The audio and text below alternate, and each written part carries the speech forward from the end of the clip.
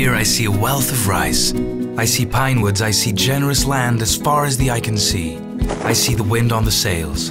I see it as it carries me on. I see challenges. I see the future. Yet also the present, the past, and even the past that became legend. From here I see houses in white, juicy shrimp, heartfelt smiles, and unforgettable faces. The eternal smile of the younger, of the elder, of people from all races, beliefs, and colors. From here I see the soul of a region and the very look of the locals. I see pride as well as kindness, and I even see flavor. I see the water mirror of the Saluk, the flight of the storks, and I feel like seeing what they see.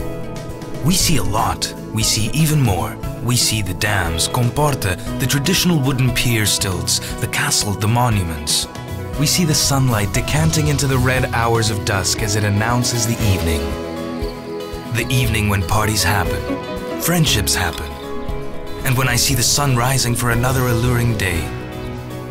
Here I see my family guiding me towards unique moments of bliss. I see the finish line for the perfect hike, no matter the starting point. I see that I'll be amazed with whatever I find, whichever way the compass indicates. From the prettiest village to the broadest boulevard by the river. From here, I see life. From here, I wish to see more. And I wish that everyone could see the same.